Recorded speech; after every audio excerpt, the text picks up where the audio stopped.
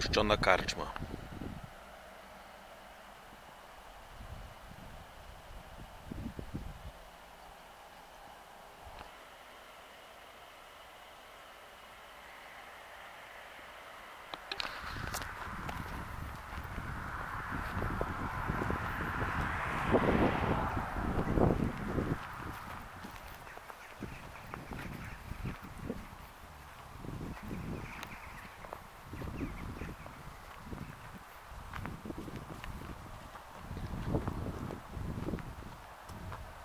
Lecz mnie interesuje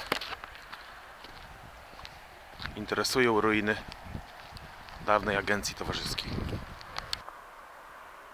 Z tego co się dowiedziałem, doszło tutaj do zapruszenia ognia.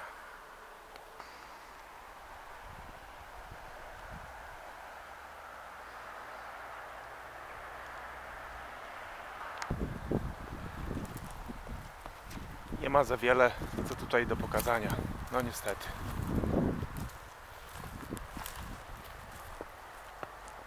To miejsce swojej świetności ma już za sobą.